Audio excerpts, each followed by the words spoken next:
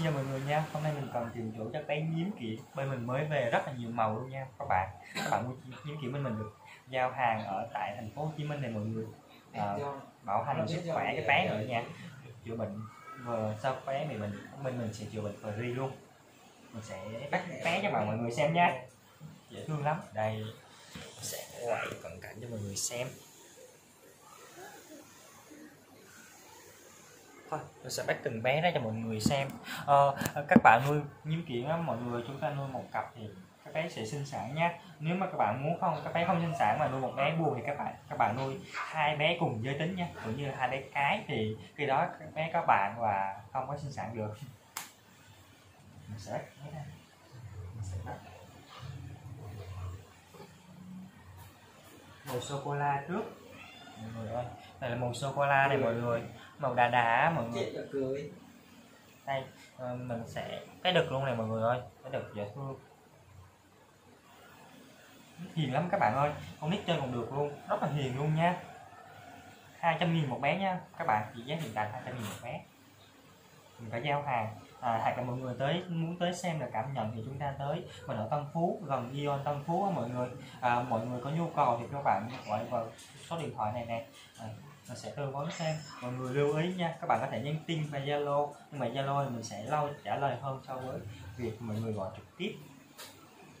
Đó.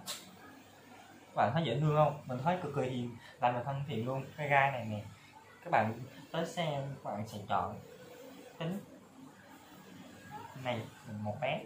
Bé này là bé đực. Mình màu sô cô la rồi đó mọi người. Mình sẽ bắt bé màu trắng này mọi người.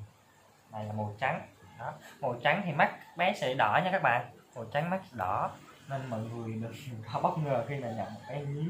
Bạn thấy mắt màu đỏ không? Phải mắt hơi mà da màu trắng nó sẽ đỏ các bạn. Màu trắng này mọi người. Sô cô la và mình sẽ bắt một cái muối tiêu. Và đợi mình có bé này bé được hai bé cái. Bé cái này mọi người. Bé cái. À, đây bé cái. Ở cục ở dưới bụng ở bụng là không có gì hết. Bộ phận sinh dục ở dưới gần đuôi nha. Bé cái.